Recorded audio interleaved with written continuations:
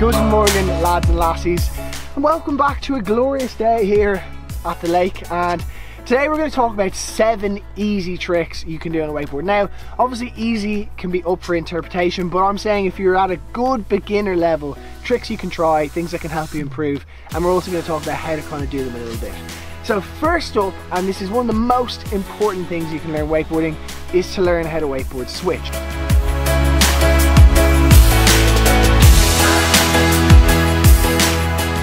Worse you are, the better it is to learn this. So the earlier you learn it in your wakeboard career, the better. So the easiest thing to do is slow the boat down a little bit, then cut out to one side. And what you want to do is you want to put a bit of weight on your heels, lift your hip back up to the handle, slowly begin to switch and then as you come out of it look to the far shore and there you go so that is trick number one then it's also really important to actually ride switch feel it out. It's going to be immensely unnatural but I promise it will help drastically.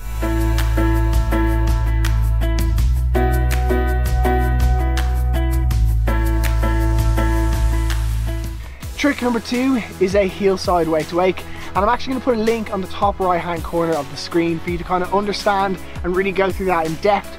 But long story short you might want to shorten your rope maybe five feet to learn it cut out nice and wide on your toes begin a progressive edge getting stronger stronger stronger. As you get to the wake stand up tall push down on the handle keep your head up and then when you land bend your knees.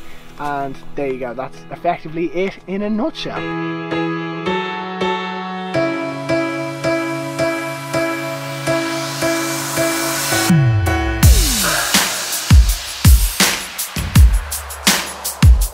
Trick number three, it kind of is similar to that wake to wake, although you can do this one wake. And what that is, is a heel side grab. So you get up in the air, you want to grab the board. So what grab is easiest? Well, typically speaking, the indie grab is the easiest. So how this works is, the boat's going this way, you're right foot forward, you come in, and the big thing that happens is people try and bend down for the grab too soon. So you want to get up in the air. Then once you're in the air and you're sure that it's a good jump, you want to suck your knees up to you. It's important to not drop your chest down to it. So you want to suck your knees up to you, try and grab it, but if you can't grab it, even grab your leg, your binding, and then work your way down to the actual board. And that is trick number three. Trick number four, nobody likes a heelside hero. What I mean by that is a lot of us tend to go out and just learn heelside tricks because quite frankly it's easier. Now a big tip is to always work on your toe side. So for example when you do a heel side wake jump naturally you're going to have to come back across the wake but instead of crossing it try and put a bit of energy into actually doing a bit of a jump. Now I'm not looking for you to do a toe side wake to wake because that is actually a very difficult and quite technical trick but I'm just suggesting doing a little jump. Big tip there is put more weight on your front foot than you would actually think is right. So you're gonna be thinking, nah, this is too much weight on my front foot, but I promise that's probably still not even enough. Get the handle nice and down low, and as you take off, just remember to stand tall and almost push the handle down into your back pocket, and that's gonna keep you nice and controlled.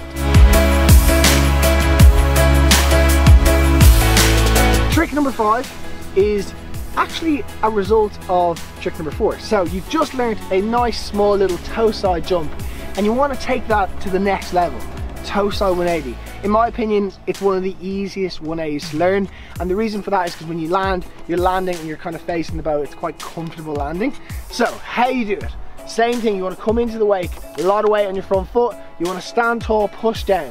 Then once you're in the air, now that's key, you got to get up and then spin. So once you're in the air, it feels good, just pull your hip up like you did on the switch, bring it around, and you can actually keep looking into the boat on this one and bend your knees on the landing. And if you're switch riding, if you've practiced it enough and it is kind of very comfortable, you should have no problems with this.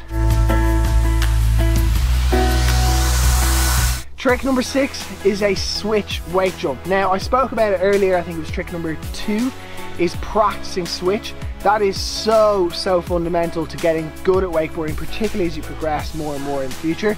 But you really need to be able to ride and jump and a little bit switch. So much like when you learned the original jump on a wake, it's the very same as that. So start nice and close to the wake and just try and do a little pop. It's gonna feel really unnatural and a big tip is people tend to ride with their shoulders very open switch. Make sure to try and put your shoulders parallel to the board. That will help avoiding some face plants.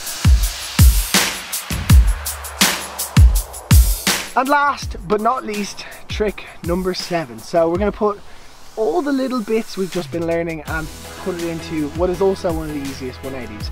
And it's called a half cab.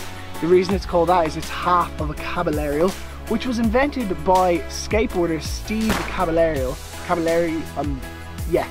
And basically what he did was that was a switch 360. So that is effectively what it is. So you're doing a half cab, which is half of the 360. So what you do for this is you implement everything you just learned on trick number seven with doing the switch wake jump.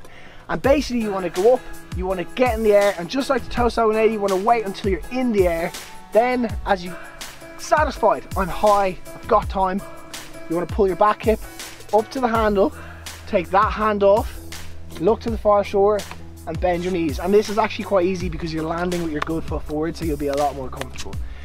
So there you have it, a nutshell. Those are seven easy tricks you can learn on the wakeboard. Obviously some of them will be a lot easier for some people than it is for others. And obviously there are seven other easy tricks that you could learn, but these are kind of the first seven that come to mind when I'm coaching people that I always try and get them to learn. And not necessarily in any particular order, but definitely if you learn in that order, it will help. I hope you've enjoyed it. If you have, please make sure to subscribe, like it, and let me know what tricks you're working on at the moment, and I can try and help by maybe doing some tutorials on them. But for now, that's it for me. Thanks for watching.